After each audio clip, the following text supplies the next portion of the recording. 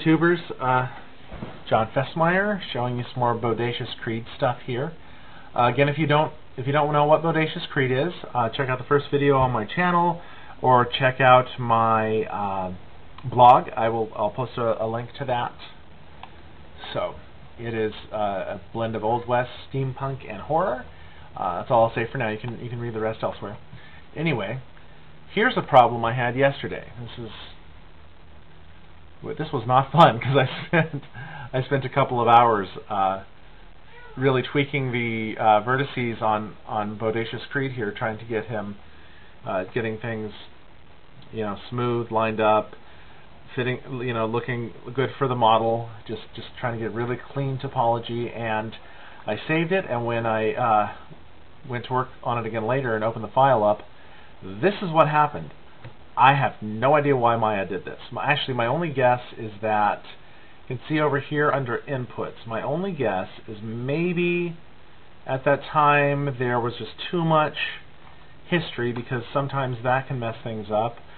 Uh, might have been because I was working with the smooth proxy so much. There's a setting to uh, mirror uh, to to when you're uh, editing something to edit the other side as well, basically, to, to do this uh, symmetry option. Um, and I've heard that could be problematic, but this is several uh, versions into Maya since then, so I don't know if it was that or what. I posted this file to my class forum. This is for organic modeling too. I posted this to the class forum and uh, asked for the instructor or anybody if they knew why this happens or knew how to, you know, fix this file, uh, thought that would be, you know, very helpful. Um, but I, you know, I want to avoid this kind of problem in the future. So, you know, as with any software, sometimes strange things happen. And even though I was saving uh, probably about every 10 minutes and saving in different versions, this happened. Anyway, the good thing, the good news is, I did, um, I did fix this. I worked on a little bit last night. I worked on it uh, some today. I'll go ahead and save it there. Why not? And there, I cleaned up the topology quite a lot um, and got it to look actually probably better than I had it before. Anyway, I just went, you know what? I'm just going to do everything I can to like really get this right. So this base mesh is looking much better. Um, here's the proxy mesh. I'll show you something interesting.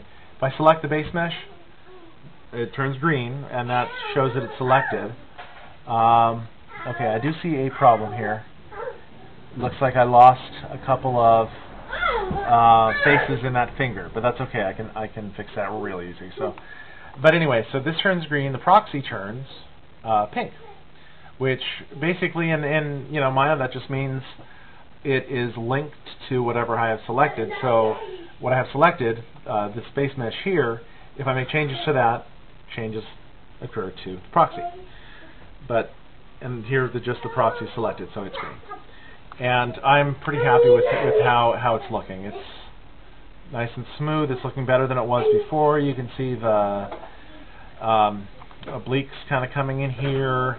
Um, muscles of the arm look good, and this is just in a very base stage, so it's it's going to get more detailed as I as I bring it up in resolution and sculpt it. Um, it was it was really hard to get his glutes to look right, but I'm, I think they look they look good now. So I, I did something I did something right there. Um, so anyway, that's that's just a little update I wanted to show there. And you know, after I after I finish this video, I will I'm definitely going to fix that. Um, the next stage for this for this guy, and this is what we're working on. Um, primarily the assignment for this week in class is to do uh, the UV mapping for him.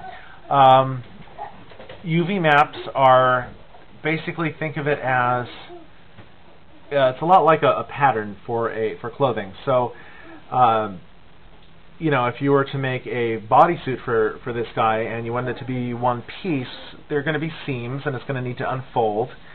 Um, and then you would get that all sewn together, but you know the the pattern would be flat, and it might be in different pieces, actually, and then get all sewn together. Well, that's basically what a UV map is in in, in theory. You um, and it stand, the U is stands for one coordinate, the V for another, and it's so it's a two coordinate thing. It's a it's flat. Um, you create UVs for something, and then you can put a texture for it uh, within that space. Assign the image, the texture image, to the figure, and everything goes into place where it belongs. And so that's basically how we texture things. Uh, that's what we need for texturing things anyway, is, is UV maps. Um, so I'm going to work on that. I will probably uh, record and show some of that process. And um, that is not quite it for the day. I have one more thing to show.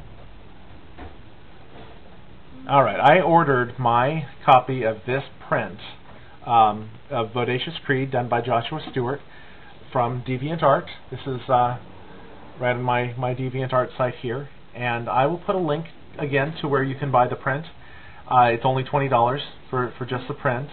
Uh, it's quite a bit more if you want to get a frame with it. Of course, I wanted a frame for it, and I decided to just go out and uh, and buy a make my own frame kit because the the specific size is 10 inches by 25 inches.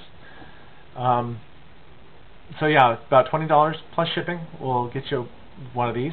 Uh, there's there's Creed himself. Here's his cybernetic steam cybernetic coyote, Coconino, who is going to be in the. Uh, I'll probably start working on him next on the coyote next semester. This is not the character Anna Lynn Boyd. Um, this is someone else, and he's he's busting into her uh, her uh, her saloon. Um, the awesome voice in the background is my son uh, playing around the house and actually behaving very well for dad today so that's that's good let me get this video done without too much trouble so anyway uh, again if you want to read about it I'll put I'll put links uh, more about the thesis. I'll put links in the bottom and uh, have a good day thank you damn it. I sounded like uh, basilmarceaux.com there. Sorry